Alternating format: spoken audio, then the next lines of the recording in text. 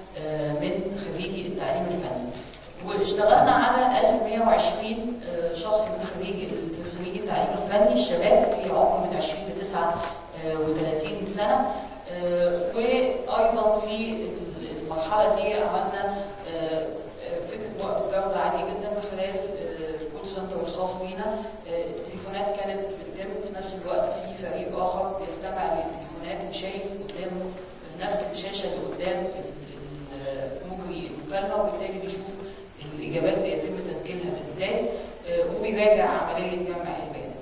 الحقيقة وإحنا بنجمع البيانات في السيرفي ده. ظهرت قدامنا ظاهره يعني استغرقت انتباهنا وهي فكرة آه، السيدات آه، المتعطلات أو آه، خارج قوة العمل.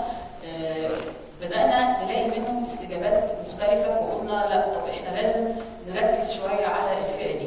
ومن هنا جت فكرة استطلاع تاني ما كانش محطوط في الخطة الأساسية بتاعتنا إن إحنا على مجموعة من السيدات آه، اللي قالوا لنا في التليفون إن هم خارج قوه العمل أو إن هم آه، متعطلات عشان نبدأ نفهم ظروفهم أكتر ونفهم آه، هم ليه بعيد عن سوق ال- العمل.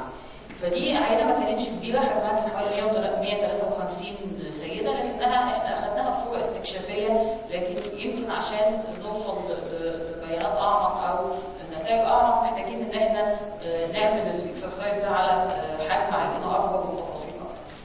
آه، أنا هعرض لحضراتكم دلوقتي أهم ال- ال- النتائج المتعلقة بالمسح الأولاني اللي اتعمل على المنشات الصناعية والخدمية ال 157 اللي اشتغلنا عليهم الشكل اللي قدام حضراتكم ده بيبين التقسيم بتاعهم حسب النشاط الاقتصادي وإحنا حاولنا إن يكون في آه، توازن في النشاطات الاقتصاديه المختلفه آه، اللي بنشتغل عليها. آه، يمكن الحاجة الوحيدة اللي عايزة أركز عليها هنا هي فكرة الطاقة المتجددة. إحنا كان المفروض إن إحنا في العينة نشتغل على آه، مصانع آه، بتشتغل في موضوع الطاقة المتجددة أو إنتاج آه، المعدات اللي بتستخدم في الطاقة المتجددة. لكن الحقيقة في المحافظات اللي كانت معانا في العينة ما كانش في آه، مصانع بالمواصفات دي. بالتالي والحقيقة اللي لقيناه في مصر حوالي ثلاث مصانع هم اللي بيشتغلوا في الموضوع ده آه، كلهم كانوا خارج ال- آه، الاريا اللي إحنا بنشتغل فيها. وبالتالي في الطاقه المتجدده إحنا اشتغلنا على آه، أماكن بتقدم خدمات يعني خدمات مثلا تركيب وصيانة وحاجات من النوع ده. وده يمكن هيبان بعد كده في النتائج يعني كان ليه أثر على النتائج. المنشآت اللي اشتغلنا عليها كانت مختلفة في الخصائص بتاعتها من حيث حجم راس المال آه، معظم الشركات اللي معانا كانت حجم راس المال بتاعها آه، أكثر من مليون جنيه. إحنا بنتكلم تقريبا في 54% آه، حجم راس المال ما بين مليون ل 25 مليون. وفي 28% حجم راس المال بتاعهم حاليا أكثر من 25 آه، مليون جنيه. لو بصينا على النتيجه اللي قدامنا دي إحنا حسبنا الحجم راس المال اللي عندنا لكل عامل تقريبا فلقينا إنه آه، السياحة آه، فيها أعلى آه، نصيب للعام من رأس المال. وبالتالي أنا عشان أزود التشغيل في السياحة محتاج إنه أحط رأس مال أكتر من يمكن بقية القطاع. أقل قطاع عندنا كان عندنا الملابس الجاهزة. الملابس الجاهزة لو بحط فيها تشغيل كل 63 ألف جنيه بيعملوا لي تشغيل لعامل أكتر. كل 63 وبالتالي آه، يمكن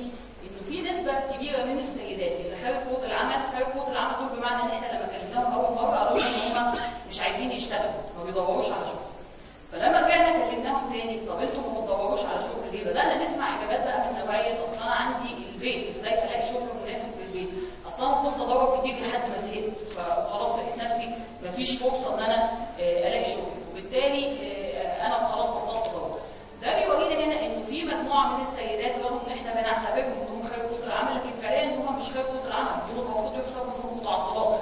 لأن دول لو النهارده بقت في شغلانة مناسبة ليهم هيشتغلوا. لكن المشكلة الأساسية عندهم إنه مفيش الشغل المناسب ليهم وبالتالي إحنا بنفقد هذه القوة والقدرات في آه، الانتاج شكرا شكرا. دكتور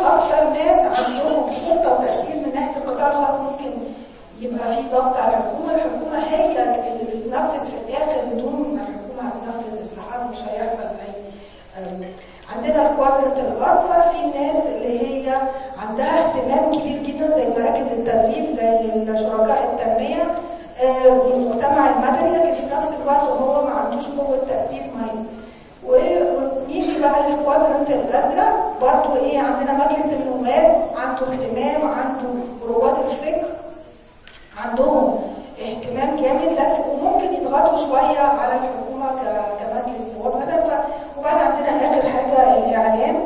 الإعلام حاطينه في النص لأن هو برضه له قوة تأثيرية. لكن إزاي؟ إزاي ال- الأربع كوادرنتس دول هيشتغلوا مع ده تحدي كبير. أنا هذكر آه، حاجة حصلت في وزارة المالية جينا في 2005 وزير المالية قرر إن هو أربعة يصدر قانون جديد عن الضرائب. الوزير راح قال عايزين نعرف مين ال- الأطراف المعنية بهذا طبعا المواطن. عندنا مأمور الضرائب مش هننساهم. عندنا القطاع الخاص. عملنا تحليل لكل الأطراف المعنية وتشاورات لمدة ست شهور مع كل الأطراف المعنية إلى أن صدر القانون بصورته الحالية وده أنا أعتقد غير بقى التوعية بعد كده ما هتت- هتتواصل مع الشعب إزاي تواصلت بالتعويض والتوعية من خلال التلفزيون. أنا دي كانت almost سنه من الشغل نتج قانون كان من أحسن القوانين من ناحية ال compliance أنا مش هتكلم دلوقتي مره هو بقى ال compliance زي ما هو لا في حاجات كتيرة حصلت. بس لمدة خمس سنين أو ست سنين ده من أنجح القوانين. نفس الشخص نفس الوزارة اشتغلت في قانون الضريبه العقارية ما عملتش نفس ال process اللي هو stakeholder mapping و analysis consultations ما حصلش والى هذه اللحظة قانون الضريبه العقاريه بيواجه صعوبات كتير آه، في التنفيذ. ف إحنا في NCC إحنا مش حكومة. يعني أنا مهما كان أنا بقعد أقول أنا اشتغلت 24 سنه في الحكومة ساعات بنسى إن أنا مش حكومة. لكن ممكن NCC جمعية أهلية إحنا مجتمع مدني. ال core بتاع ENCC إن هي platform للتشاور ما بين القطاع الخاص والحكومة. وعندنا آه، يعني نجاحات كتير في إن إحنا عندنا ال board بتاعنا آه، يضم آه، ناس زي الدكتور حسام بدراوي قطاع خاص عندهم اهتمامات سياسية عندنا ناس من القطاع الخاص المهندس طارق توفيق وسيف الغم يعني إحنا عن- عن- من خلال ال specialized sub council بتاعتنا بتاعتنا عملنا platforms للمشاورات ما بين القطاع الخاص والعام. أنا سريعا هشكر تحت مشروع تاني إحنا عملنا ال YEP أو ال Youth Employment Promotion Forum ده دوت يعني حاجة ناجحة إحنا عملناها platform ناجح في كل الناس اللي قاعدة هنا تقريبا عارفه دكتورة شيرين دكتورة نهال آه، أستاذة منال ماهر الجميل ف- فالف- فالفكرة ان عشان ننجح أو نزود احتمالات نجاح تنفيذ الإصلاحات المتعلقة بكفاءة سوق العمل محتاجين نخلق آه، mechanism أو platform مماثل يشتغل الحكاية دي. أنا مش هتكلم عليها أكتر من كده آه، Mr. جوزيف غانم الصبح اشار له هيطلع بقى في discussions تفاصيل شكرا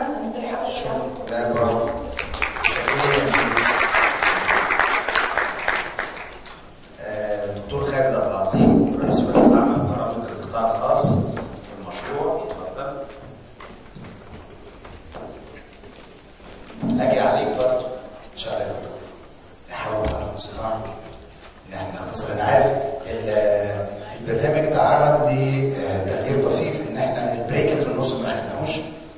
فأنا عارف إنه المحتوى كتير على آه، حضراتكم زائد وقت السادة الضيوف اللي اجتهدوا ان هم يشرفونا بتواجدهم. علشان كده عارف إن إحنا اثقلنا عليكم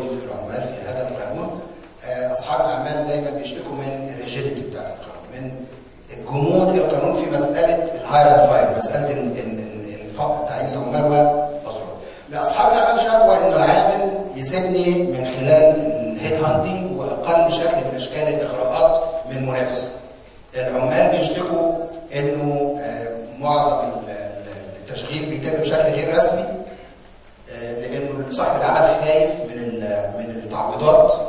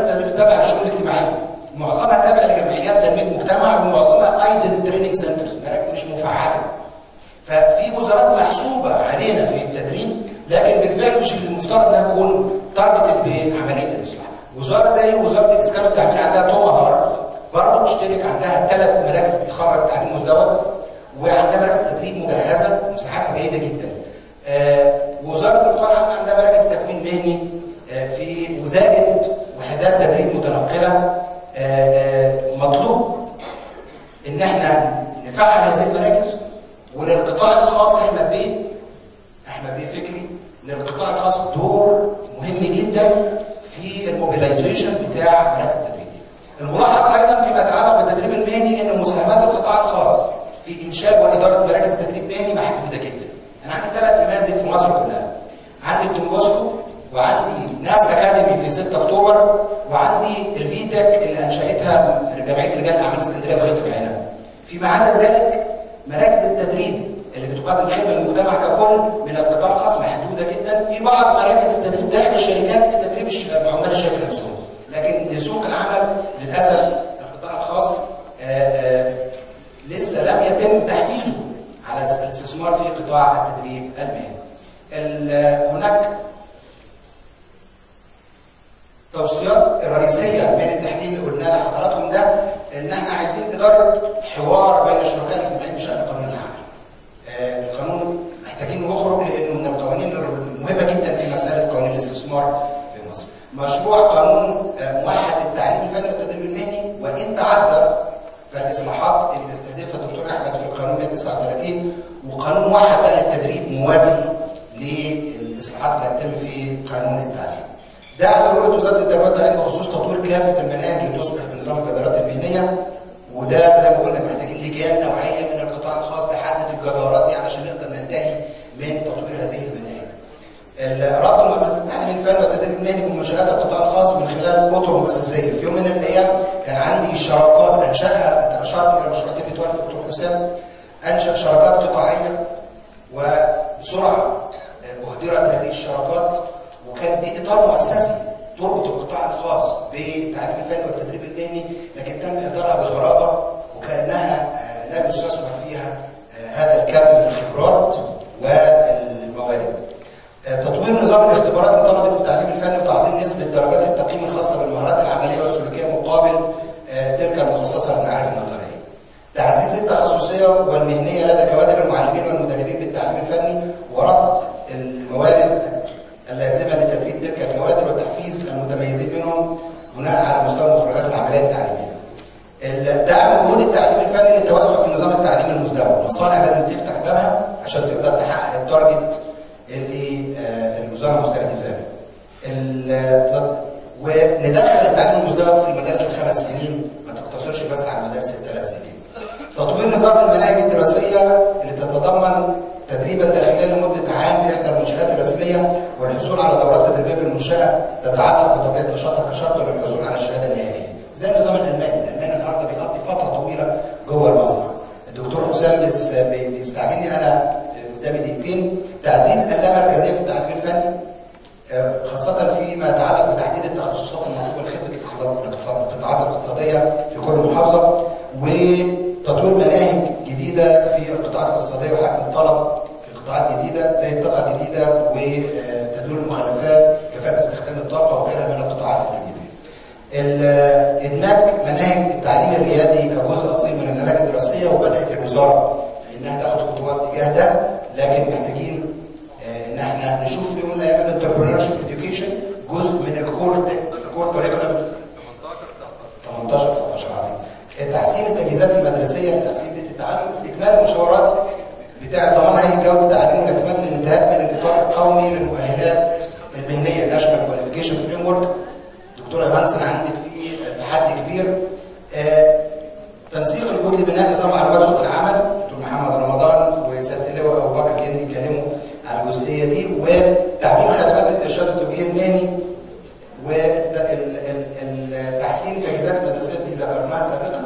آخر آه، مجموعة توصيات محتاجين نحسن الصورة الذهنيه عن التعليم الفني ودي مش مسؤولية جهه بس مسؤولية كل الجهات. آه، ادخال سياسات تدريبية خاصة بقطاعات جديدة ذكرناها. اداره حوار بشكل صندوق تمويل التدريب. إحنا محتاجين نشوف صندوق على غرار الصندوق الخاص بالمغرب وندرس تجارب الدول الأخرى آه، تنظيم وسائل آه، نقل عام بيئه تسهيل انتقال العماله من وإلى المدن الصناعيه خاصة فيما يتعلق بعماله المراه جزء من الإسكان الموجه لمحدود الدخل في المحافظة يوجه للباحثات عن عمل أو للمراه العامله عشان نشجعها إنها تكون في مكان أقرب للمصنع وأكتفي بهذا القدر عشان الدكتور حسام شافه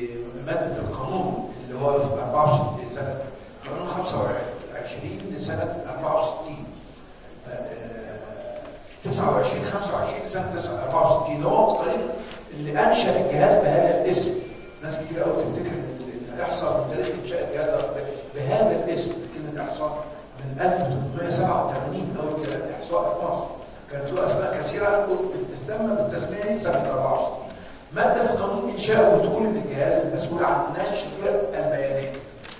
نشر البيانات وهو المسؤول عن إحنا عمالنا ننشرهم البيانات اللي بنعمله إحنا منه 15% وال 85% جاية من باقي النظام الإحصائي الوطني اللي بقوة القانون المفروض ما ينشروش.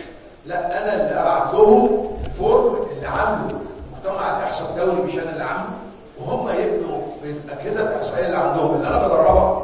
المفروض إن هم اللي يبنوا هذا الفورم وأنا أنشر البيانات لأن كل جهة لها مصلحة في إن هي تحسن في البيانات. البيانات اللي أنا ببعتها وتجي لي وأخضعها للمفاهيم الدولية اللي متعارف عليها. أنا ماليش مصلحة. أنا مصلحتي إن أنا حرفية صناعية بيعملوا صنعة على قد ما عرفوا صح لكن لما الجهات بتنشر يبقى كل واحد عايز إن هو إيه يعني يقلل من الآثار السلبية ويزيد من الآثار الإيجابية لنتيجة أعماله.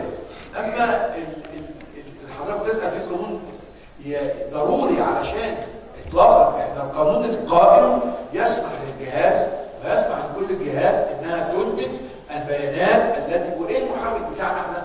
إحنا المفروض الاحصائي ده عنده قرون استشعار وعنده رادار يشوف احتياج المجتمع إيه ويسعى إلى إنه يعبر عن هذا الاحتياج كميا بالإحصاءات اللي هو بيعملها سواء في إمكانياته الذاتية استمارة باحث وتدريب و survey والناس تنزل تجيب البيان يا إما عارف إن البيان ده في آه، عنده في business register أو سجل إحصائي موجود في جهة ما هو يبعت والجهة دي مش مش مخيرة إنها تبعت الايه؟ البيان. فاحنا لا يخص تشريع في هذا المجال. أي أي بيان لصالح المجتمع لصالح ال- الجهاز الجهاز بقى المفروض يسعى إن هو يوفره ويعبر عنه كميه كمية للمجتمع امال قانون إتاحة المعلومات. هذا موضوع تاني خالص. ده موضوع تاني خالص. اشرح لنا قانون المعلومات وحاجة مختلفة تماما عن قانون الإحصاء.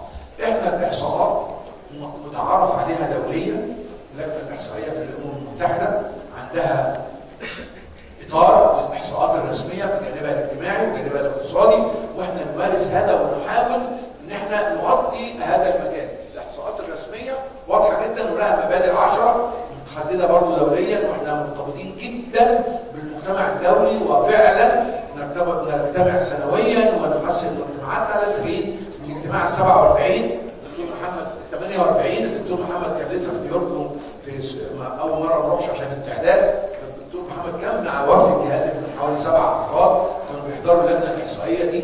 بنكون واخدين واجب من السنة اللي فاتت. رايحين نحله. مش رايحين نسمع محاضرات. لا ده موضوع جد جدا. و48 سنة بنحسن أدائنا وبنوحد المفاهيم وبنسعى إلى إيجاد المؤشرات للحاجات الجديدة اللي بنعبر عنها. إحصاءات البيئة وإحصاءات الحوكمة وإحصاءات الحكم الرشيد. الحاجات الجديدة دي إزاي نقدر إن إحنا نعبر عنها كميا بغير بقى إحصاءات الطاقة والصناعة والنقل والزراعة والكلام اللي هو متعارف عليه من زمان.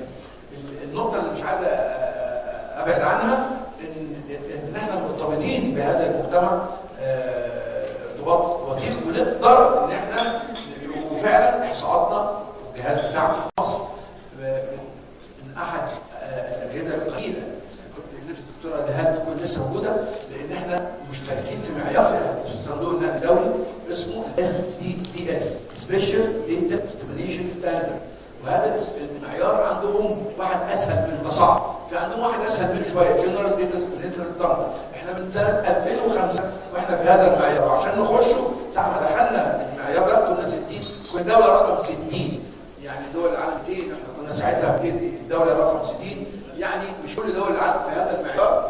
المعيار عشان تخش ده يجي لك inspection ويجي لك فحص اللي بتعمله quality quantity ودوريه إصدار البيان. إحنا في هذا المعيار 2005 والمعيار ده عشان تخش مش وخلاص عشان تحتفظ بنفسك فيه لازم م- م- يعني خاضع للايه؟ الانسبكشن ده. ولو عملت أخرت مرة أو عملت أي حاجة تاخد بنالتي ثلاثة بنالتي تطلع. من إحنا من ساعه ما دخلنا في 2005 لم ناخد في البنالتي واحد ان إحنا التلميذ ده دي شهاده للبيانات بتاعتنا. أرجو إن حضراتكم ترجعوا لتقارير الصندوق والبنك. مش هتلاقوا في تقاريرهم. الآن إن كل رقم هو رقم الجهاز. لأن خلاص بقت في ثقة في ال- البيانات اللي موجودة في ال- اللي إحنا بنعمله في الجهاز. ارتباطا بقى بالموضوع بتاع النهارده الحقيقة إحنا في رقم طلعه أربع مرات في السنة وهو طلع بقى ان أنا لكم سيرته الرقم بتاع امبارح هو رقم القوى العامله بيانات القوى العامله والتشغيل اللي بيتعمل أربع مرات في السنة. إحنا بنجري البحث ده على 7000 أسرة كل سنة كل شهر وبنطلع بيانات ربع سنوية 15 45 يوم بعد نهاية ربع. فإحنا امبارح ميعاد ال 45 يوم اللي هم بعد نهاية الربع الأول في سنة 2016 17 اعلنا البطاله امبارح 12% من قوة العمل اللي هي 29 مليون تقريبا لأن قوة الناس الرقم ده لا ده من قوة العمل. الرقم ده كان في الربع اللي قبله 12 و4 وفي الربع في السنة السابقه كان 12 و7 ده ال- ال- القطاعات اللي جاية وعاملة ال- ال- الرقم على فكرة نزل آه، مش مش تقليل عدد البطالة لأنها غلط بعدد لا يزيد عن 85000 لكن هو كان زيادة عدد التشغيل. اللي زادوا حوالي 810000 عن السوق الربع المماثل للسنه اللي فاتت. خصائص الم- المتعطلين والمشتغلين المهمة اللي في هذا الإعلان اللي إحنا اعلناه امبارح إن إحنا بنقول إن في 79% من المتعطلين ال 3 مليون 505 3 مليون 5 505 ألف 79% منهم من الشباب في الفئة من 15 ل 29 ال- ال- البطالة في الذكور 8 ونص وفي الاناث 24 و8 من 10 يعني تقريبا ثلاث أضعاف الإيه؟ بطاقة الحضر 13 و7 من 10 في الريف 10 و2 من 10 يعني الريف طبعا أكبر من الحضر. حبيت بس إن أنا أنتهي بالقصة شكرا. إن أنا أفكر لحضراتكم عن البحث المهم اللي هو لنا نتائجه امبارح شكرا شكرا. شكرا. سيادة اللواء وأنا عارف إن عندك ارتباط مع في مجلس الوزراء يعني هنعلمك في كافة المناقشات أنا اللي شاكر لحضورك بالرغم من التزاماتك السابقة شكرا. شكرا فاكرين إحنا معانا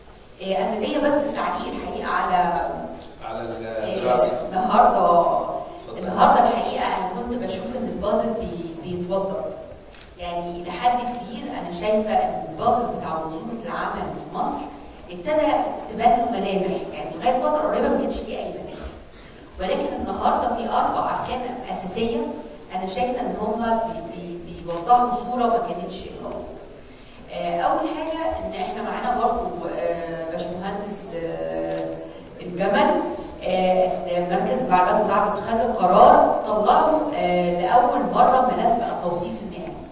وبيحمل آلاف من ال- ال- ال- التوظيف المهني ما كانش موجود خالص لأي مهنة في مصر.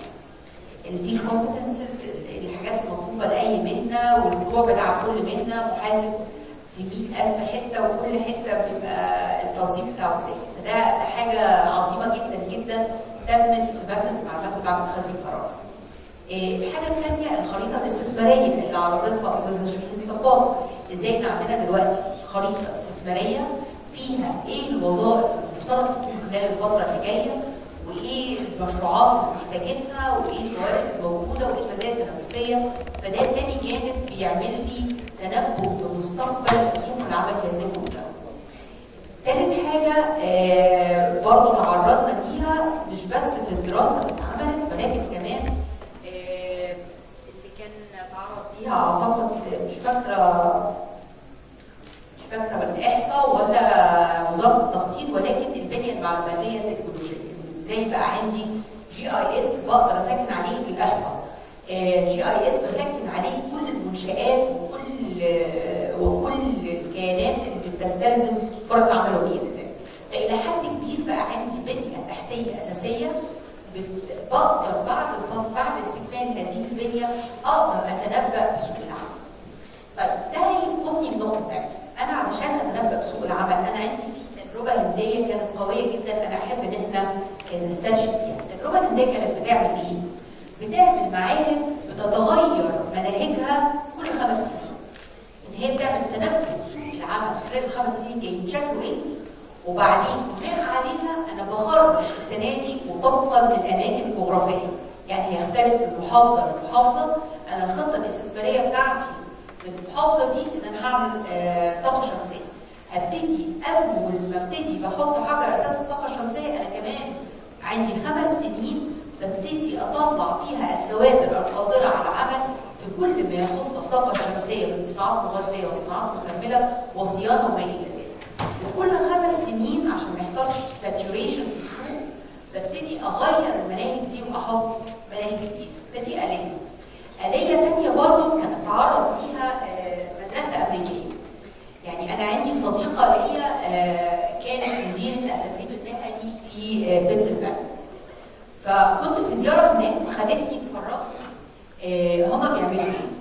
بيعملوا حاجة غريبة جدا مركز التدريب المهني هو بروفيت بمعنى إن المكان ده بيتم التصنيع كإنك بتتعامل مع private sector ولكن تدخل هذا المكان في كوافير في حلاق في ميكانيكا عربيات في مباني في صيانه تكييف ودش و و و ما إلى ذلك كل ما يخطر ولا يخطر على بالك من صناعات المكان عبارة عن إنه بيدار هو مكان profit يعني المكان نفسه عبارة عن آه، يجي العميل في الماستر أو الكوتش الكبير اللي هو بيدرب آه، آه، الناس اللي تحته في مطعم خاص بيهم فبيدرب وال- والطباخين وما إلى ذلك. وبالتالي أصبح هذا المكان هو مكان بيعمل أرباح بيقدم خدمات للسوق وبياخد عنها أرباح. الخدمات بتاعته بيقدمها بأسعار أقل شوية من السوق عشان الناس تجيله وبالتالي هو بيعلم الناس on the job فبالتالي بيطلع ال- الناس very well qualified بيقدموا خدمات للمجتمع وبيقدموا آه، حاجات لها آه، كمان بيجيب بيجيب عائد العائد ده بيصرف على مصاريف هذا المكان. فبالتالي ده نموذج قوي جدا. أنا نفسي إن إحنا نعمله في مصر. إحنا النهارده عندنا آه، زي ما كان أحد الزملاء قال ان القتيل تفرق دمه على كل القبائل إن النهارده عندنا مراكز تدريب مهني كثيرة جدا جدا ولكن كلها غير فعاله أو مش كلها يعني هي بحسب المكان بحسب الجهه بحسب حاجات كثيره جدا.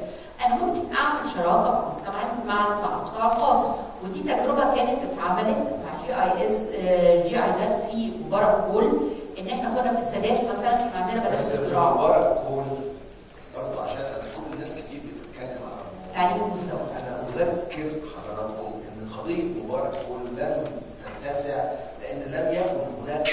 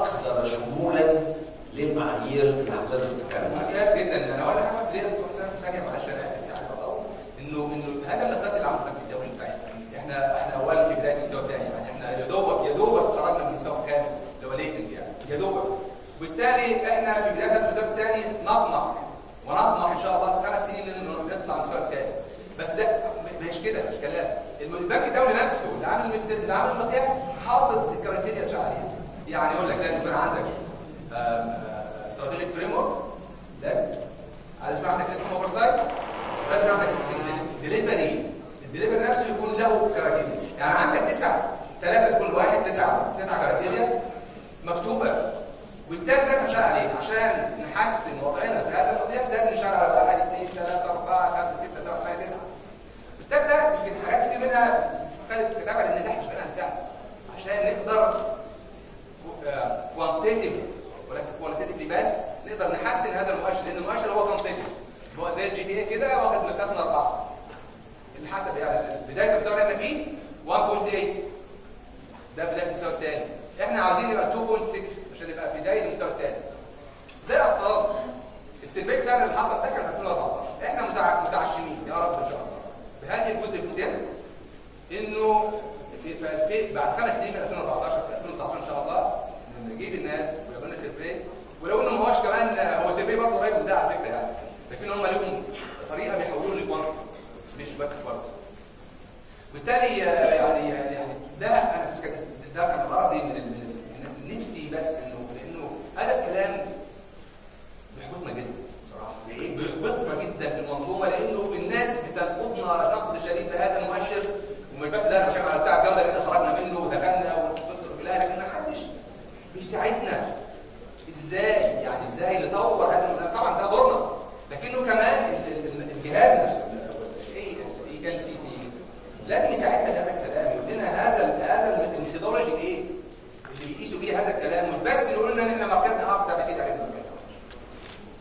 المركز إحنا له- لهذا السبب عاملين هذا المؤتمر ولهذا السبب إحنا عاملين لجنة لهذا الأمر. إحنا إحنا عايزين نساعد وندعم. كلنا كلنا ليه لتطوير سوق العمل.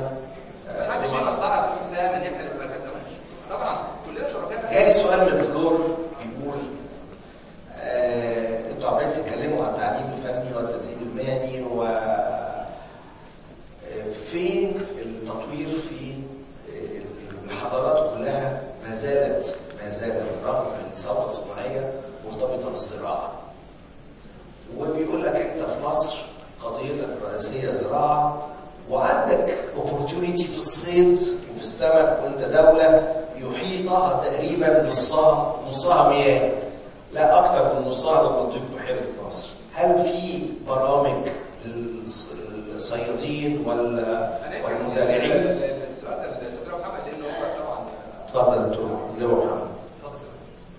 بسم الله الرحمن الرحيم. بشكر الساده الحضور وبشكر الفرصة المتاحة لنا طبعا في البداية أنا بشكر كل الزملاء على الجهد المبذول في هذا في هذا ال- الندوة. إحنا بالنسبة للتعليم الفني يعني برغم إن في عندنا تحديات ومشاكل كتيرة جدا إلا إن برضه بنحاول في ضوء ال- التشريعات والقوانين ولكن آه، عايز بس ملاحظة سريعة كده مع الدكتور خالد إن كنا عايزين آه، من ضمن التوصيات برضو إن إحنا فيها موضوع التشريعات والقوانين لأن التشريعات والقوانين ودي فعلا والله حقيقة إن إحنا لو قدرنا بالتشريعات والقوانين نحسن بس نحسنها أو نسهلها شوية أو نبسطها أنا بتوقع ان هت- هتعمل انفراجة في التعليم الفني في كافة المستويات. فأرجو برضو إن دي تبقى جزء من هذا وإحنا يمكن في ال في البرنامج TVET 2 إحنا آه، شغالين على هذا الموضوع لأن هذا الموضوع في غاية الحساسية ويمكن معطل لنا شغل كتير ويعني ومخلينا منكتفين زي ما بيقول يعني.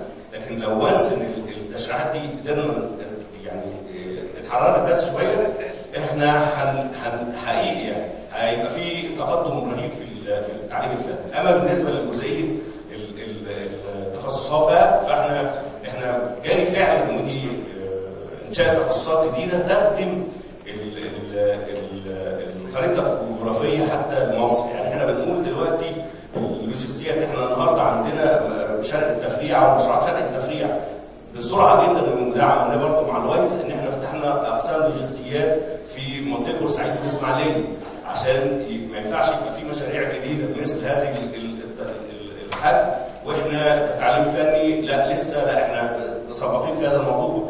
بالنسبة برضه للصيد والمصايد إحنا برضه في منطقة آه، ال- الانطره بدانا عملنا يمكن حوالي ثلاث مزارع سمكيه كبار وبالإضافة في نفس التخصص بتاع المصايد آه، بالإضافة تاني برضه لمزرعتين في مدارس السويس ده إحنا برضه شغالين فيهم دلوقتي بحيث إن ان شاء الله ممكن على العام اللي جاي يتم افتتاحهم. آه، تدريب طلاب آه، بالنسبة لي ضمن ال- ال- المنهج أو الخطه الدراسيه بيبقى فيه طبعا العمل آه، بالإضافة برضه إلى ال- ال- الملاحة وفنون بحرية. إحنا عندنا فعلا آه، هذا التخصص موجود وي- ويمكن آه، عندنا فعلا آه، آه، طاقات آه، هائلة في هذا الموضوع. ويمكن حتى من فتره الجانب الموريتاني كان جانا القاهرة عشان حتى يستعين في موضوع الصيد هذا.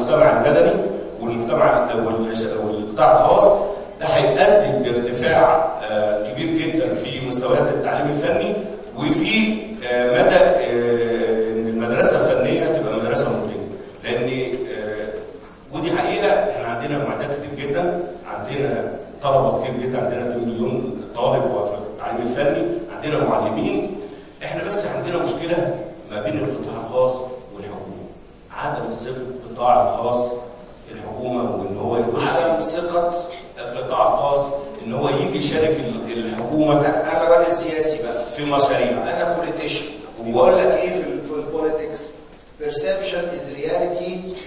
مش محتاجة مقابل لما يبقى عند القطاع ده ال perception عدم الثقة مش هو المطلوب منه يغيره. الجهة مقدمة الخدمة هي اللي تغير المفروض إنها ترفع هي-. هي هنا دكتور هنا هنا هنا في جزئية مهمة جدا. إحنا عندنا بالنسبة لل- لل- كناحيه تعليميه في قواعد وفي آه، قوانين ولوائح وقرارات بتنسق هذا الموضوع. لما بدأ ادخل عليه الراجل بتاع القطاع الخاص عشان يجي يشارك معانا في هذا ده بتقابل عراقيل غير عادية. بتخلي القطاع الخاص اللي جاي جاي يجي يخش معانا آه، اوتوماتيك كده على طول أول ما بيقعد معانا ورغم إن بيبقى فيه آه، آه،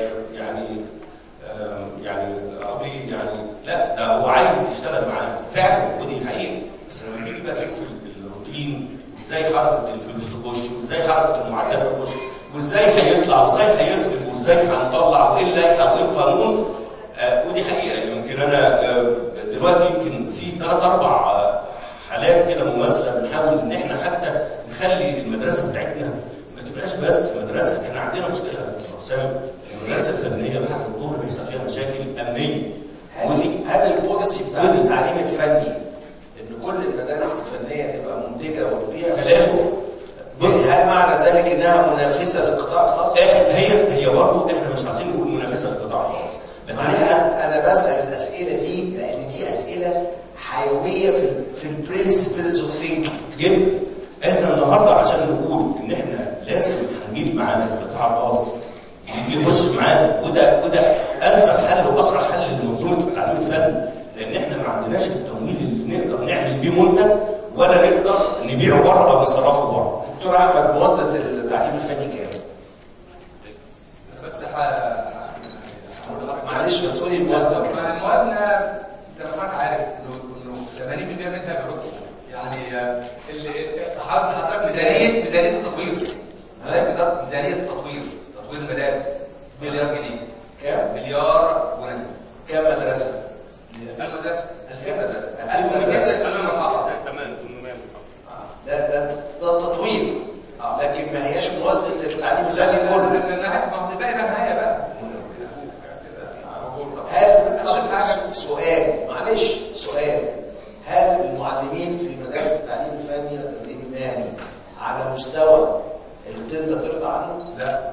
هتعملوا إيه في الموضوع ده؟ طيب خلينا نقول بس حاجة طب أنا بس نتكلم على جزء الشراكة الأول. أيوة. لأن الشراكة لها هي جويه بمعنى إيه؟ أو يعني هي بلاش جويه خلاها إحنا عندنا مش بنتكلم على آه، حاجتين من الشراكة. انه ش- إن الصناعة تيجي تشاركنا في المدارس في مصر في المشروعات الانتاجيه وش- وإن إحنا طالبين دلوقتي هناك في م- تعليم مزدوج في مراكول أو مدرسة في مصر. الاثنين عندنا مشاكل. معنى إيه؟ أنا بس ال- ال- ان هو هي عندنا صناعة ده لسه يعني بادئين فيه وده خلينا بس نتكلم على ال- ال- الآخر اللي هو راسخ المفروض يعني. إحنا اللي بنتدربوا عندنا في في الصناعه 2% فقط من الطلبة. 2% فقط من الطلبة. بس. والباقي فين؟ والباقي لا يلقى أي في الصناعة في أي نقطة. ليه بقى؟ لأنه تعليم مزدوج. أو في التدريب ال- مدرسه المصنع الولد بياخد 300 و 400 500 جنيه في الشهر. 300 اولى 400 500 اذا هذه تكلفة على الشركة. بالتالي لما بنتكلم على إحنا حصه التنميه المستدامه بتقول لنا إيه؟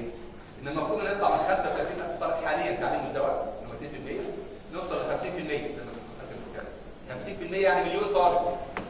المليون طالب لما يبقى مع 10 سنين يعني إن شاء الله مليون طالب تعليم مزدوج تكلفتهم السنويه كمهايه بسعر النهارده 5 مليار جنيه. 5 مليار جنيه سنويا. تدفعها الشركات للولاد الشركات تدفعها بقى الدولة تدفعها مين يدفعها؟ ده لازم نقعد نتفق لأنه هذه ال- الخدمة لها تكلفة. عشان يبقى عندنا تعليم مزدوج حقيقي 50% لابد إن في حد يدفع هذه التكلفة للطلبه عايز قطاع خاص كبير أو ياخد أو ياخد أو ياخد حوافز أو صندوق. تناسب أو نضم نضم في قانون العمل يا سامي يعني نضم نضم التعليم المزدوج ده للتعليم التدريب في الصندوق. سياسه التعليم مثلا. أنا كنت عايز أقول إن هي المشكلة الحقيقيه إنه التدريب أو التعليم المزدوج لازم ما تعملش حاجة المزدوج ليه؟ الدنيا ما بتخلوش من التعليم بتاع التعليم المزدوج قال يا سيدي أنا جاهز إيه؟ طبعا إحنا جاهزين لكنه له تكلفة. لابد أن يدفعها أحدهم. بالتالي بالتالي مثلا خلاص يعني يعني الحتة دي مهمة قوي إنه لابد يعني كل شركاء نقعد مع بعض نتفق إنه هذه المنظومة لا يتطلع بها ابدا لوحدها ولا تخش تعليم. أنا عارف الناس كلها بتقول لك كل وقت زي ما كان البنات السريه يقول لك أنا اخش تعليم. آه تعليم صحيح. زي ما حتى لسه كان من شوية بيتكلم إنه الشركات الشركات والسيبين قالوا انهم بيدربوا أنا يعني آه، إذا كان ما أعرفش حد من الصناعه ولا لأ يقولوا لنا إذا كان وده إيه بقى بقى إذا كان هناك ميزانيات للتدريب ولا لأ؟ حد يقول لي. آه، هنتقل للدكتور أحمد لأنك أنت بتمثل هنا القطاع الخاص مش كده؟ والصناعة. آه، تجربتي الشخصية طبعا آه، في قطاع الخدمات إن إحنا لما كنا بندرب الممرضات وندرب المساعدين أول ما المتدرب يتدرب أول حاجة بيطلبها هو ارتفع مستواه وعايز معايير اكبر أو منافس ليا بياخده. فانا كصاحب عمل ما عنديش في إطار القانون ما يسمح لي إن آخد عائد التدريب لمن قمت بتدريبه ورفعت مستواه في المرحلة الجاية. ففي برضه تشريعات يجب أن تتواجد لحماية الطرفين. اولا للمتدرب وللي بيدرب وبيحط ميزانية. نمرة اثنين في كثير من الأحيان ميزانيات التدريب لا تأخذ بها الضرائب كتكلفة.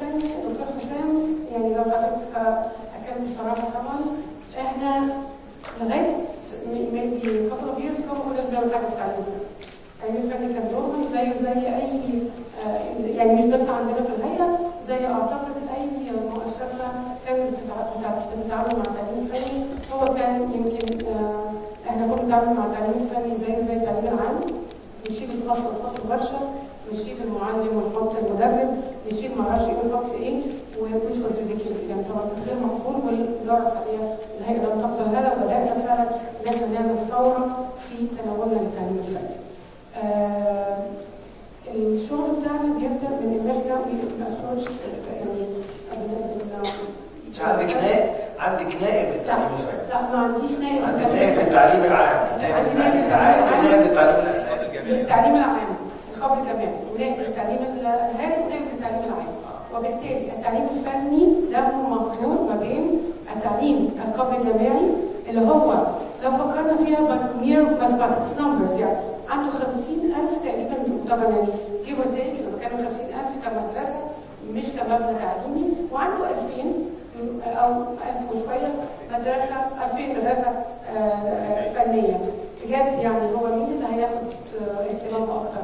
50000 ولا 2000 أكيد ال 50000 هم علما بان لا عدد- والله 2000 بس ده أنا- critical mass أقول لك 50 على يوم حاجة. تبقى إنجاز. أنا النهارده بقول الكلام ده. أنا النهارده بقول لهم نركز في دول لأن دول لو إحنا زي ما هناخد لو دخلنا في دول شوية هنقدر نعمل ال- يعني الايمباكت بتاعنا هيبقى واضح لأن ال 50000 يعني مش هتكلم فيهم دلوقتي. anyways وفي نفس الوقت حضرتك عندنا الاشكاليه بتاعت التعليم الفني اللي في- العالي اللي هي من الكليات التكنولوجية أو المعاهد اللي هي السنتين وما إلى ذلك فبالتالي والمعاهد العليا فإحنا عندنا ده مقدر فعلا ما بين الاثنين. But what we are doing now thanks to ما أعرفش كان حد موجود هنا TVET 2 لو TVET 2 موجودين yes thank you والدكتور خالد في الآي يعني ما كان ex TVET 2 و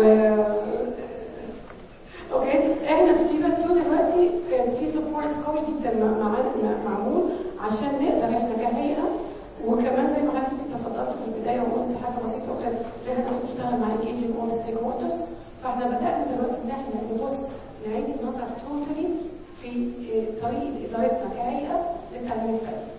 مش بنتعامل مع كمؤسسه تعليميه فيها كل لا بنتعامل دلوقتي مع تخصصات مع آه، زي ما الدكتور آه، احمد كان بيتكلم على يعني occupations على competency based education وطبعا competency based is not only طبعا الدكتور آه، احمد قال it's a system it's not only curriculum it's not only it's a way of teaching it's teaching and learning it's assessment اللي إحنا unfortunately المحل بتقول إحنا بنعمل حتة وبنسيب الباقي فطبعا لا عندنا معلم راضي عن الدكتور احمد الجيوشي ولا عندنا assessment system وإحنا كمصريين أي assessment system حضرتك تعمله هنعرفه وهنوصله وهنطلعه الاجابه النموذجيه ولو حد بس طالع قرايب couple of days ago هيلاقي إحنا عملنا إيه؟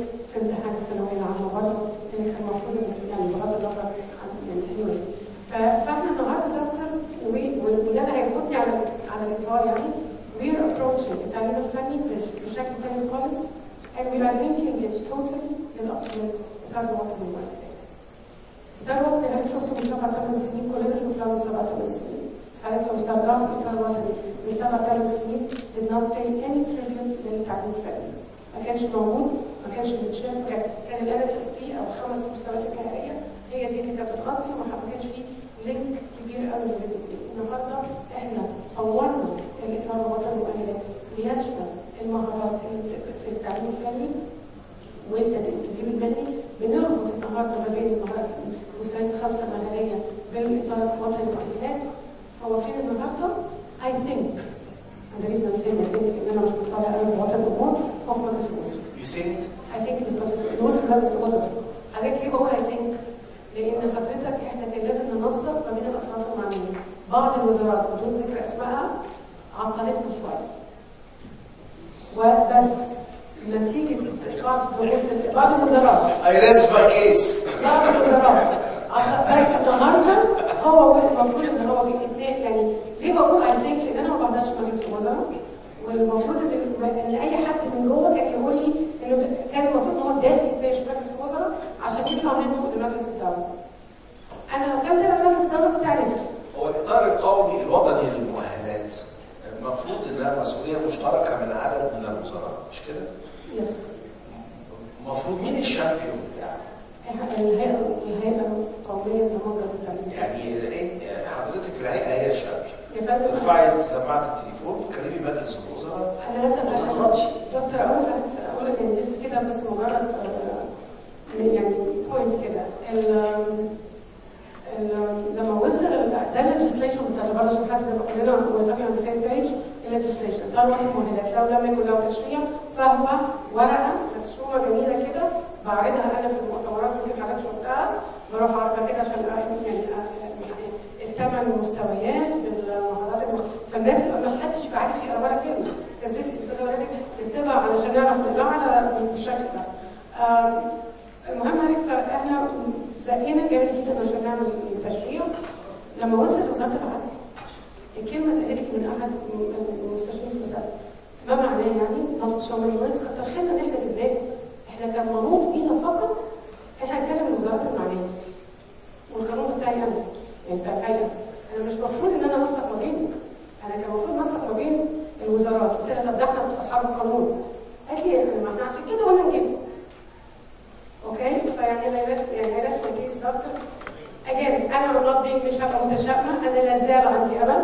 لا زلت متعلقة بالأمل. نعمل إيه كمجتمع مدني وقطاع خاص عشان نساند إصدار ال- ال- الاطار الوطني للمؤهلات قولوا لنا نعمل إيه وإحنا القطاع الخاص مع المجتمع المدني. هناخد دور okay. أنا هطلب طلب النهارده من كل الموجودين هنا. واللي معاه قلم يكتبوا. الو- ال website بتاع الهيئة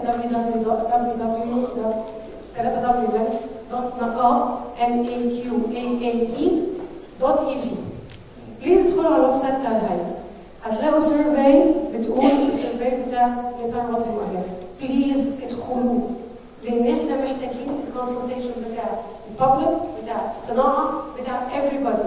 إحنا في إحنا لغاية دلوقتي أنا في كل المؤتمرات وفي كل حاجة بقول please حد يدي ادخلوا اعملوا لنا لغاية النهارده عندي 46 four- 46 رد على ال questionnaire ال survey بتاع الطلبات المؤهلات اللي بقى له ثلاث أشهر في على ال website ف please لو في حاجة تقدروا تعملوها كمجتمع مدني كصناعه ادخلوا please أنا هخش عليه واعرضه في صفحتي.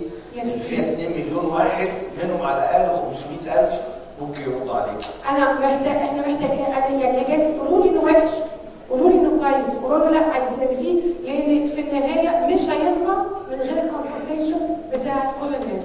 ف please لو عرفت دي أول حاجة. تاني حاجة لما يطلع يعني فعلا لما يطلع please لازم نش يعني نشتغل بيه.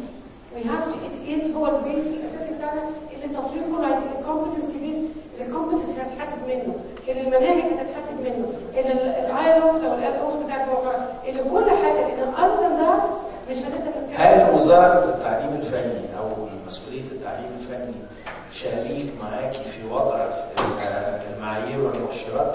هل تم عمل بينكم وبين بعض؟ yes بس يعني عشان الدكتور أحمد مش أنا قبل كده لما كان لا سيبك من قبل كده ده بقاله سبع سنين. لا يا فندم مش بتكلم قبل كده سبع سنين بتكلم قبل كده قال in 2015 يعني ممكن حضرتك تاخدي مبادرة دعوة الجهة المعنية من الدولة ودعوة القطاع الخاص لوضع زي ما حضرتك دعيتيني كده في وضع معايير. الجامعات آه، نعمل ورشة عمل لوضع معايير التعليم الفني ما بين شركاء آه، المسألة دي وتاخدي خطوة أولية في هذا التوقع. sure إحنا هنعمل و- بس again ليه- أو يعني ال legislation يطلع وإحنا هنعمل كل ولو في أي حد يقدر. وإحنا مستعدين كتنافسية إن إحنا نشتغل لك ال logistics Okay وانت خلاص بس جو دكتور أحمد عايز تقول حاجة؟ وبعدين عايز أرجع للدكتور دكتور رشا طبعا الشغل ده في ال qualification framework لكنه في نقطة أنا قلتها للدكتوره في المؤتمر من سنة إنه عشان كل الدولة دي تشتغل فتدفع بالان بي اف لازم بي اف يمكن إحنا حضرتك قلتي وضفتي وقلتي انه كان في تعاون مع التعاون. الفني 2015 2015 ما كانش في أصلا حد بيتكلم عن competence based system وبالتالي بدأنا إحنا إحنا نتكلم عن competence based system من سنة سنة ونص. إحنا اللي بدأنا لأنه إحنا متأكدين من الاوراق واللي شفناها في نماذج الدول انه هذا هذه ال competence based system أو هذا ال competence based system مرتبط تماما بال NQF وبالتالي بدأنا إحنا وكان أتوقع حضرتك ويعني كذا مرة ان حد جينا ما جاش لكن على أي حاجة. ما الشهاده دلوقتي شات مع تو مش معانا إحنا ده حاجة أنا يعني ما أعرفش ليه تمشي كده. إحنا دلوقتي دي حاجة مهمة جدا. تو منفصل عن الوزارة؟ لأن التو ده مشروع آه، يعني لوحده تبع الصناعة وبس. في جامعه عامة طبعا لكن مش الفكرة ماشي مش مشكلة مع 2 بس أقصد أقول إن إحنا جهه اصيله بهذا الكلام. يعني إحنا نشغل تيبت 2 لكن مش تيبت 2 اللي يشتغل ويشتغل ويدينا إحنا حاجة ال competence system مبني أساسا على على ال NQF. أول كلمه تعطينا ارتباط بسيط جدا لأن ال descriptors الموجودة بالان بي إف هي بالاساس هي اللي عندنا. هي اللي بنبني عليها منظومه دراسه المناهج ويمكن عشان كده ضغط على كتير جدا يا دكتور إن يبقى حاطين حد شغال على الكلام لأنه عشان ننظم شغلنا مع بعض ما يبقاش بعيد عنه لما يطلع NQF يبقى إحنا قريبين منه جدا الوضع الحالي الوضع الحالي ان إحنا كنا بننظم 2015 دلوقتي مش مش عارف دكتور رشا دكتوره يوم بس ربط ربط بس على معلش sorry اسف دكتور رشا. هي ربط يعني هي ال NQF is competency based يعني it's one of the is- ف- فبالتالي إحنا م- يعني لما كنا بنتكلم من 2015 لما عملنا المؤتمر آه، المؤتمر بتاع ال NQF لقينا فيه كل الاطراف المعنيه واتحطت فيه ال descriptions واتحط تدرس وتم الاتفاق على يعني تم الاتفاق على حاجات كتير. بعدها عدة ورش عمل وعد تم دعوة جميع الوزارات المعنية ويمكن آم، برضه يعني حرام النهارده عمالين نتكلم على آه، أستاذة سامي طول الوقت يعني اللي كانت وزارة العمل مدعيه وزارة التعليم الفني في ذلك الوقت كان في تعليم فني. وزاره التربية والتعليم كان كله كان مدعو معانا واتوضعت الاطلس كان إحنا we still طبعاً. very generic level عشان بس الدكتور آه، يعني we are on very generic level اللي هو ال level العام اللي هو بعد كده هتطلع منه ال sector إحنا لسه ما اشتغلناش في ال sector فبطمن الدكتور أحمد يمكن يمكن إحنا ما بدعناش حد يمكن راضي على الدكتور حسام اللي هو إحنا ما بعدناش حد. إحنا هيئه صغيرة قوي ما عندناش ناس كتير قوي عندنا شغل كتير قوي. فاحيانا ما بيبقاش عندنا فعلا كفاءات إن إحنا نبعتها للدكتور آه، آه، استخدمينا Okay fine ما يعني والقطاع حاجة الخاص ready to work with you Don't forget that you always forget us برضه يعني آه، دكتوره يوم أنا أنا بس عايز اوجه حديث حضرتك في حاجة طبعا كل الدراسه بتتكلم على آه، الجانب بتاع الس- السيدات آه، في المطالب الاعلى والجانب بتاع التصرف وكل حاجة من دي وبصفه حضرتك رئيس جمعيه سيدات أعمال مصر مش ده صحيح؟ طيب عايزين تعليق أنا الحقيقة برضه هتكلم من two hats لأن بتكلم على بصفتي يعني إحنا مجموعة سيدات أعمال فوق 250 شركة ومصانع صغيرة بالإضافة ل آه، أنا عندي شركة صناعات غذائية آه، في 6 اكتوبر. أنا الحقيقة زي ما حضرتك قلت التوقعات أو ال findings اللي أنا قريت ال executive summary امبارح بالإضافة للدراسات اللي سمعتها النهارده كلها معلومات معروفة ان فعلا مع كل المحاولات والمجهودات اللي أول مرة عنها كقطاع خاص إنها تريليت لشغلنا مع إن محاولات مستمرة للعمل مع اتحاد الصناعات ومع مركز التدريب الصناعي فشلنا فشل ذريع وآخر محاولة عملناها مع وزارة التضامن بدل بتوع التكافل والغرامة اللي هم بياخدوا مرتبات وما بيشتغلوش وال- والفوائد اللي في البنك ما بنشغلش الناس دي. في الآخر بن- بنحاول نشغل الناس دي. إحنا إحنا فاكرة كلمة خلق فرص عمل. لأن إحنا كل واحدة فينا عندها مصنع كل حد عنده مصنع. عندنا فرص عمل غير fulfilled لحد دلوقتي. بنحاول ندور على عمالة كل أنواع المهارات. عمالة أساسية عمالة عمالة في مصانع عمالة آه، بنات أو ولاد مش لاقيين عمال. إحنا فعلا ما عندناش عمال. فحضرتك بتتكلم على على system بعيد خالص في gap جامدة مع والقطاع الخاص ده مش عارف يوصل لفين عشان نعرف نتوسع ونعمل شغل أكتر لأن مش لاقيين عمالة. يعني عندنا مصر كانت من ضمن المزايا ان ال labor intensive jobs أو labor intensive industries محتاجة. العامل المصري وإن هو كفء وإن هو سعره أحسن competitive بالنسبة للمنطقه ما بقيناش لاقيين العمالة وفي كتير مننا هو يتحول لل automation عشان نتجنب إن نحتاج عمال. ففي واضح إن في فجوة بنسمع بعض شوية كل أو كل واحد بيشتغل في مجاله. انما القطاع الخاص لا زال بعيد خالص عن عن بدليل عن الدراسة اظن بتاعت بصيره اللي اتعملت اللي هي بتقول له عامل بيقول لواحد تاني واحد يقول تاني. إنما في الحقيقة إحنا مش لاقيين ال- العامل اللي يوصل ل- ل- لساعتها في شغلنا عشان نوصل للانتاجات اللي إحنا عايزينها. ففي جاب كبيرة جدا وإحنا مفقوده في الدسكشن دي كلها إنها مش لاقيين يعني مفيش مفيش unemployment مفيش عمالة ناقصة على كل المستويات. ممكن كلمة صغيرة بس كلمة صغيرة. تعليق صغير. قول لنا وات يو ثينك في ال- في الشغل اللي اتعمل كيف يمكن استدامة هذا المشروع ليحقق هدف؟ آه، طيب لو بنتكلم عن الاستدامة أعتقد إن إحنا بنتكلم أساسا على وجود مؤسسات فعالة آه، وبناء قدرات هذه المؤسسات. فإحنا لو بصينا لمشروع بايظ إحنا عندنا ثلاث components، ال component الأولاني بيشتغل مع وزارة التربية والتعليم والتعليم الفني مع دكتور واللي هو الحلواني وهنلاقي إن كل وال interventions اللي إحنا بنعملها موجهة ناحية إن إحنا نبني مؤسسات ونبني قدراتها. يعني سواء على مستوى المدارس أو مستوى المحافظات أو مستوى ال- الوزارة إحنا انشانا أو بنساعد في إنشاء آه، وحدات للانتقال تيسير الانتقال لسوق العمل وبنبني قدرات الوحدات دي في كل المستويات دي علشان يبقى فيه مؤسسة موجودة تقدر إن هي يعني تنقل هذه الخبرات بعد كده لكل المدارس وكل المحافظات. بالنسبة لل component الثاني بشرع مع القطاع الخاص برضه إحنا عاملين حاجة اسمها ابدا رحلتك دي training و employment وشغالين مع اتحاد المستثمرين واتحاد الصناعات ووزاره الصناعه إن إحنا بننشئ برضه وحدات في جميع المحافظات نبني قدراتها بحيث إن بعد ما المشروع يخلص تبقى هذه الوحدات هي المخالفه. طيب نيجي بقى لموضوع ال- الحلقة النهارده اللي هو كفاءة سوق العمل. إحنا آه، عملنا آليتين هنبتدي ننفذهم علشان نحقق الاستدامة. الآلية الأولانية مجالس بنسميها مجالس اقتصادية في المحافظات ودي آه، مجالس هنحاول ننشئها في المحافظات علشان تعمل حوار مجتمعي ما بين كل الستيك هولدرز سواء القطاع العام والقطاع الخاص في الوزارات والمجتمع المدني. آه، أعتقد التوقيت مناسب جدا لأن من أسبوعين تقريبا رئيس الوزراء ادى توجيهات للمحافظين إن هم ينشئوا في جميع المحافظات مجالس تنمية اقتصادية. فأعتقد إن إحنا إن شاء الله هن- هنساعد على إنشاء هذه المجالس. هنبني قدرات هذه المجالس ونعمل ستراكشر بتاعتها وهنشتغل معاها على حل المشاكل المتعلقة بكفاءه سوق العمل على مستوى المحافظة. ال- المشاكل اللي تقدر إن إحنا نحلها من خلال المحافظة هتتحل المشاكل اللي هي على المستوى القومي هتنتقل للآلية الأخرى. الآلية الأخرى دي مع ال NCC مع المجلس التنافسية هننشئ وحدة داخل المجلس التنافسية وحدة للريسيرش والأبحاث وال- والتحليلات الوحدة دي هننشئها ونبني القدرات بتاعتها بحيث إن هي اللي تقوم بكل الأبحاث والدراسات العلمية المتعلقة بكفاءة سوق العمل. طب الوحدة دي هتعمل إيه؟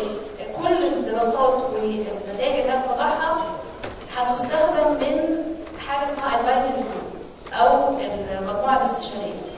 المجموعة الاستشارية دي هتكون من جميع ال stake يعني ممثلين من جميع ال stakeholders جميع الوزارات المعنية بالقطاع الخاص من آه، آه، national communication آه، نقاء يعني نقاء. فأعتقد إن إن لما الالغاز يكون ده يبقى فيه ممثلين من جميع هذه الفئات بيجتمع بصفة دورية بيناقشوا إيه المشاكل دي وبيوصلوا لحلول يعني الحلول دي based على تحليل ودراسات evidence based أعتقد ال forum ده أعتقد هيحل مشاكل كتير اللي إحنا عمالين بنتكلم فيها دلوقتي إن مش كل ال stakeholders بيتكلموا مع بعض. لا إحنا هنعمل يعني methodology أو mechanism يبقى فيه اللي هو ال advisory group ده هيخلي كل هذه ال stakeholders يجتمعوا مع بعض بصفة دورية ويتكلموا في هذه المشاكل. يبقى في حوار مجتمعي ويبقى في نتائج based أو اقتراحات based على ال evidence بعد كده ممكن هذه الاقتراحات بقى تقدم لصانع القرار وتقدم لممثلين البرلمان علشان ننفذ شكرا دكتورة سامي أنا وأنا قاعد سألت اللي هو أبو بكر وبعدين بصيت للدكتور أحمد مندوشي وبصيت لسيادة النائب منال قلت لهم هي القوى العامه فين؟ هي وزارة القوى العامه فين؟ لحد ما الدكتور خالد أشار إلى حضرتك لأن الكور بتاع الكلام ده المفروض وزارة القوى العاملة اللي تقوم بيه. مش كده ولا إيه؟ فأنا الاقي طبعا وجودك على عيني وعلى رأسي. الشرط القوى العاملة بس الشرط القوى العاملة.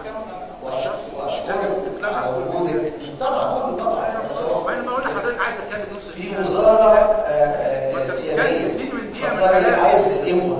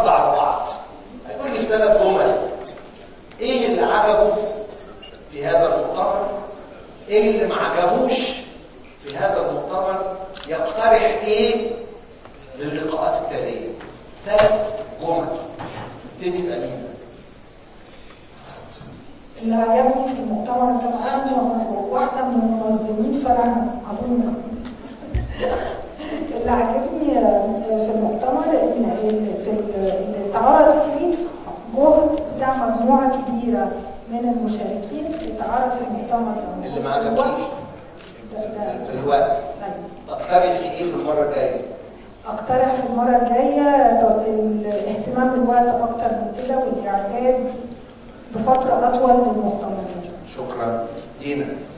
آه، رغم إن أغلب آه، عجبني ما عجبنيش. آه، آه، رغم زي ما كلنا عارفين إن أغلب نتائج الدراسة اللي إحنا عارفينها من قبل كده بس رقم اللي قالته الدكتوره حنان ان هو 63% من خريجي منظومه التعليم الفني فكروا في مشروعات خاصة دي أكتر حاجة عجبتني. حاسة إن دي حاجة ممكن ما تشرحيش. ما تشرحيش ولا رأي ما عجبكيش إيه ما أنا برضه NCC فصعب أقول حاجة ما عجبتنيش. يعني ماشي. يمكن تقترحي إيه المرة الجاية؟ أقترح إن إحنا يمكن نوسع شوية دايرة ال stakeholders أو ال- شكرا. دورة عجبني ما عجبنيش. آه، عجبني تنوع المشاركين وإنه إحنا زي ما في آه، باحثين بتشتغل في المواقع سوق العمل في آه، صناعة وجال أعمال وجال تعليم. تنوع المشاركين. ما عجبنيش؟ ما عجبنيش انه مفيش أي حد من اللي اتكلم قال قال لنا الخطوة اللي نبدأ نعملها دلوقتي. إيه الأولوية بتاعتنا؟ اقتراحك؟ اقتراحي انه لو هيتعمل حاجة بعد كده تبقى مائده مستديره هدفها إن إحنا نطلع بخطوات تنفيذية يبقى شكرا. دكتور إيهاب. عجبتني الدراسة والنتائج بتاعتها. ما عجبنيش ال- قلة الوقت قلة الوقت سمحت بال بالمناقشة. عايزة وقت. عايزين وقت أكتر الاقتراح maybe وقت أطول لل و more structured آم، يعني more structured آم، اسمه إيه؟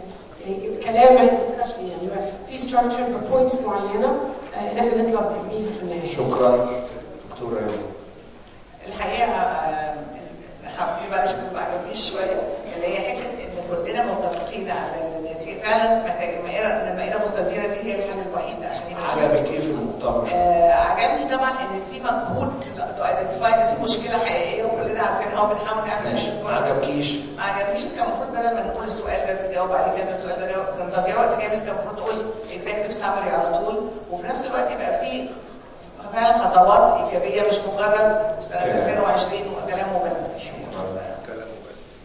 عجبني طبعا في المؤتمر إن تنوع الوزارات وكل الهيئات الممثله آم، يعني ما عجبنيش إن الوقت مدته قليل. لكن برضه آه، كنت عايز برضه آه، أقول إن الدراسة كانت المفروض تبقى في ايدينا قبل ما نيجي يبقى حتى على الاقل يبقى اللي انت عايزه ان الدراسه توصل قبل المؤتمر اللي أنا عايزه ان لازم الدراسه تبقى في ايدينا عشان نبقى جايين حتى قاريين أو عارفين شكرا شكرا سيد دكتور دكتور أحمد. طبعا عجبني آه، توصيات مركزه جدا للدكتور خالد وان أنا بتعهد إن كل ما يتوجب على الوزارة عمله هتعمله. عظيم ده هذا تعهد الحاجة اللي ما عجبتنيش. الحاجة اللي ما عجبتنيش إنه هذا العمل ليس أول عمل. بهذا بهذا النظام مش عايز يلعب الشغل آه، يبقى مهم جدا. كان لازم يكونوا موجودين ولازم ننسق وده مقترح اللي هقترحه يا حسام إن LMI system هي أكبر بكتير من هذا الحادث. طبعا منظومه معلومات سوق العمل أكبر بكتير من هذا الكلام. وبالتالي لابد من كل هذه الجهود تدمج ويتم التنسيق بينها كلها عشان نبني LMIS system مظبوط. نقدر نستفيد منه لأنه أنا يعني ازعم يعني كده أنا عندي شوية خبره من LMIS system يبقى إن ده لكنها بداية كويسة جدا لكنه لابد أن ننسق بين كل اللي بيشتغل شكرا. دكتوره سنه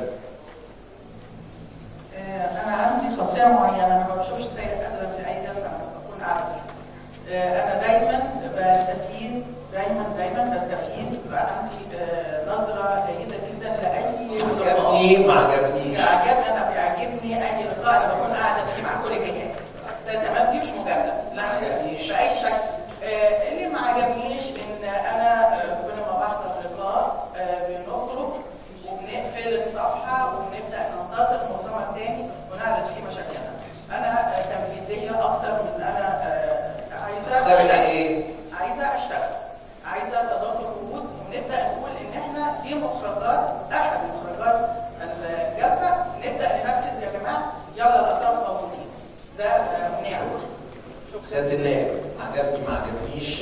عجبني تكامل الرؤى وإن النقد بناء يعني إحنا بنبني على بعض مش مش علشان نكسر بعض. إيه، ما عجبنيش آه، إن إحنا ما تناولناش أهم حاجة في قضيه العمل اللي هي آه، الثقافه الدوليه للعمل هنعمل بيها إيه ولا قيم واخلاق العمل هنعمل إيه. دول أكبر قضيتين بيسيطروا على عمل ما عجبنيش إن إحنا لما نتطرق اليهم آه، وأعتقد إن إحنا آه، مهم إن تبقى سلسلة لقاء- لقاءات متتاليه ما نتقابلش من سنة لسنة في الموضوع. يعني أعتقد الموضوع ده مهم جدا. آه، اعتقد إنه محتاج مقابله كل شهرين مثلا نعمل عقدين. تقترح نقدر آه، ده رشا أنا عجبني الصراحه الصراحة الجامده قوي بين كل الفترات دي أظن دي حاجة مفيدة جدا لنا كلنا اللي ما عجبنيش إن التالي كان المفروض من ضمن المدعوين يبقوا بعض الناس اللي هي بنتكلم عليهم بعض الطلبة ممكن برضه بعض الاهالي بتوع الطلبة عشان عشان نسمع stakeholders الاقتراح أو مش اقتراح إن شاء الله الوعد إن إحنا هننشئ في اسرع وقت ال advisory group تحت ال MCC بحيث إن إحنا كل شهرين زي ما حضرتك بتقولي يبقى إحنا بنجتمع بنتكلم على حاجات معينة based على بحث أبحاث العمل والتحليلات وإن شاء الله نوصل لرؤى أو نوصل ل يعني action plan بحيث ان كل وزاره أو كل كل شكراً. representative يعرف يعمل شكرا.